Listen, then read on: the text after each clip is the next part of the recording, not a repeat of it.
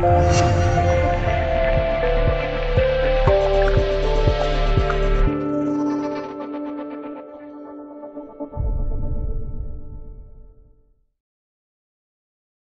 是一个名为“记忆”的网站发布的，经过他们染色处理的老照片前后效果对比。这些对老照片进行再处理的人员，绝对堪称艺术家。美国陆军航空队的女飞行员们，在二战中，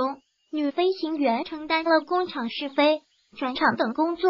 极大减轻了美军一线飞行员的压力。二战期间，在兵工厂工作的女工人，苏军女狙击手 Relation 格林在纽伦堡军事法庭受审，废墟上的照片，听老爷爷讲打仗的故事。丘吉尔被杀入刀砍中之前，美军士兵站在被炮火摧毁的教堂之中。碎发枪手，